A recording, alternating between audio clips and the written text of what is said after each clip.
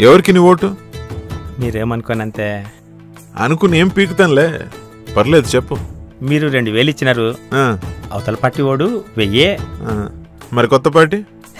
వాళ్ళ దగ్గర డబ్బు లేదటయ్యా. సరే దొబ్బింది. మా ఇంట్లో మొత్తం ఐదు ఓట్లు. కాబట్టి మూడు ఓట్లు మీకు. ఉమ్, రెండు ఓట్లు అవతల పార్టీకి. మీరే చెప్పండి. న్యాయం ఉండాలి కదయ్యా. ఉండాలిగా? ఆ? సూపర్ అయ్యా.